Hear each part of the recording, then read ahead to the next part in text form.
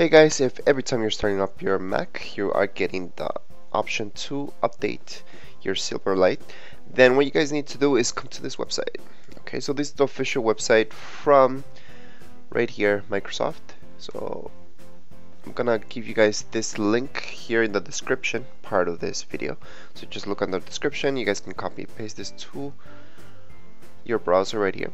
Um, once you're there, all you guys have to do is go right here so you have your current version that might say something else and the latest version that could also say something else by the time that you guys watch this video.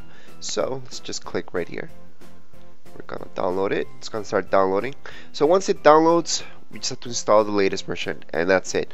So the fact is that you guys are getting that message every time because it doesn't really update and um, it might even say that's not compatible okay? So even if you go to Netflix and it tells you that maybe your screen's not compatible maybe you guys just bought an iMac 5k for example um, it should still work. Um, Netflix is compatible with 5k displays such as any iMac out there uh, 4k as well so you guys don't have to worry about that. Um, it's just the update that's the problem. It's not being updated for some reason so you have to do this manually and then it should be working just fine. So right now we're just gonna wait for it to be done and then we're gonna install it.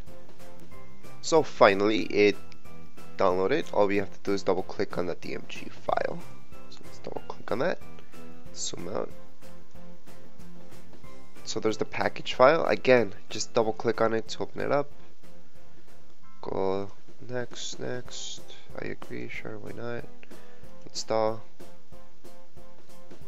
software. You might have a password for your Mac so at that point just put in your password this shouldn't take that long really. And from there we're done. We've installed Silverlight. So if you guys do go to Netflix okay just open up another tab right there and we will go to Netflix.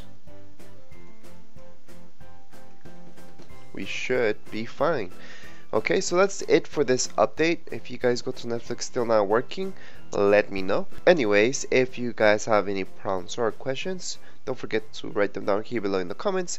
And don't forget to subscribe and rate. Thank you.